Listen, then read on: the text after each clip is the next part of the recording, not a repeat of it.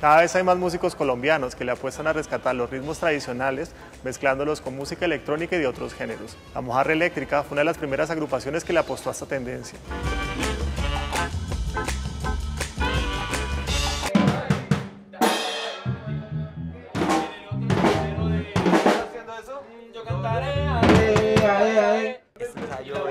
Caótico, es la manera de trabajar de la mojarra. Todos aportan ideas simultáneamente, entonces a veces se vuelve un poco confuso. La Mojarra Eléctrica es una banda que está detrás de una búsqueda de un sonido particular a partir de la música tradicional afrocolombiana con elementos de música afro del mundo. Mojarra Eléctrica es quizá uno de los grupos más importantes, más representativos, abarcan pues en sí gran parte de este concepto que es la unión entre viejas tradiciones musicales colombianas y otras venidas de diferentes partes pues, del planeta y de la misma ciudad. ¿no?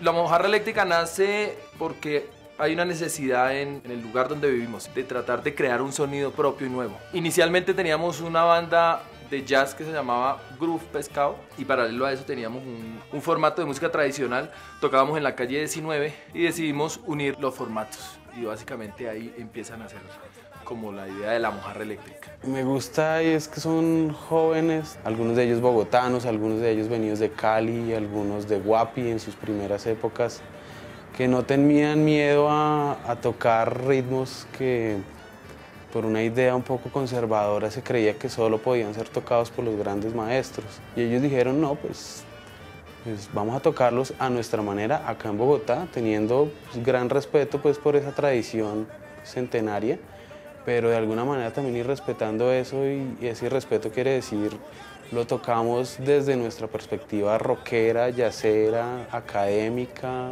lo que sea. Por lo menos para mí y creo que para todos los que estamos ahí, la gran mayoría, el maestro Chucho Valdés, el maestro Juan Formel y los Bambán. Y bueno, hay una cantidad de músicos, James Brown, la descarga salsera de Nueva York, ha sido influencia. Entonces hay mucha influencia realmente. Mi historia con Etelvina, mujer de vano divina, luchadora de la vida. En un principio se llamaban mojarra frita, después pasaron a eléctrica porque le incluyeron bajo y, y guitarra eléctrica y se pasaron de la calle pues a los auditorios. Estamos hablando ya de un grupo que más o menos va a tener una década de estar funcionando. Han pasado miles, muchas personas por allí, gente que está con otros proyectos, girando alrededor de las mismas músicas. La mojarra, diría yo, tiene que ver por el, por el formato y la forma en que hacemos la música, tiene esa capacidad de ser potente y poderosa. Y el sonido está muy frentero.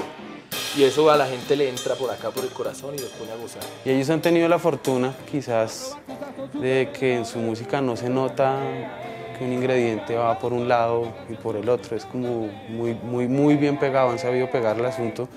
Entonces uno no escucha la gaita con una base de rock and roll sonando cada cual por su lado, sino muy, muy, muy bien pegado y que quizás creo que esa es la magia de la mojarra eléctrica.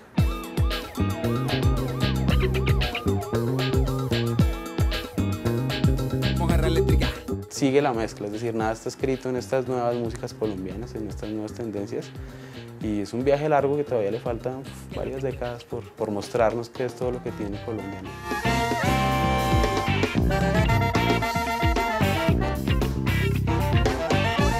próximo concierto es el primero de agosto en Colombia al Parque, en el Parque El Lago, gozadera total. Y a todos nos roba, y a todos nos mata, unos comen pecado y otros comen maranga, maranga, la ganga que tiene la manga. La mojarra eléctrica también estará invitada en Colombia al Parque. Ahora veamos otros eventos culturales que tendrán lugar por estos días en Bogotá en nuestra agenda de Cultura Capital.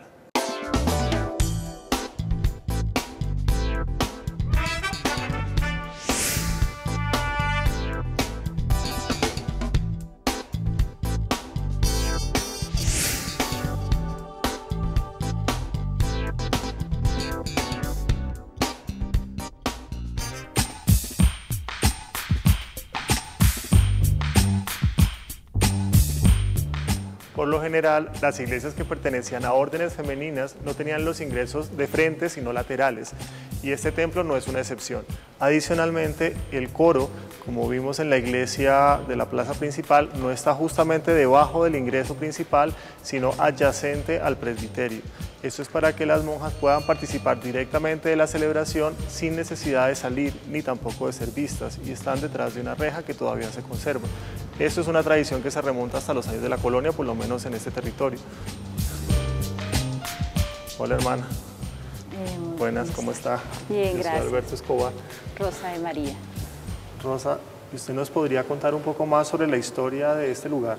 Este monasterio, cuando fue donado a la comunidad de la Orden de la Visitación, que la cual pertenecemos, esto era el primer colegio de Bosa, que se llamaba el Colegio de los Sagrados Corazones. ¿Y siguen llegando novicias al, al monasterio? Claro que sí, en este momento hay un buen número de jóvenes, que eso es muy bonito porque a veces uno misma se imagina que un monasterio es donde se encuentran solamente viejitas o mujeres que no tuvimos de pronto la oportunidad es que de casarnos. No, no fue por Por eso eso. falta. No, no, no fue por eso, sino que no, hemos sentido verdaderamente el llamado de Dios y muy gustosamente damos la vida por Jesús. ¿Tú eres una novicia? Sí, ¿Y cuántos años tienes? 22. ¿Y por qué tomaste la decisión de ingresar al monasterio? Yo no la tomé, No. la tomó Dios. Y yo lo único que hice fue responderle. ¿Y piensas quedarte ya para siempre aquí? Con la gracia de Dios, sí. Muchas gracias a las dos por esta visita y por toda la información que nos han dado. Bueno, con, mucho gusto y de verdad que lo hacemos con mucho gusto porque nuestro santo fundador, San Francisco de Sales, es el patrono de los periodistas. Al interior del Monasterio de la Visitación terminamos este recorrido por Bosa. Les recuerdo que cualquier comentario o sugerencia de recorrido nos lo pueden enviar por escrito a la siguiente dirección cultura.capital.canalcapital.go.co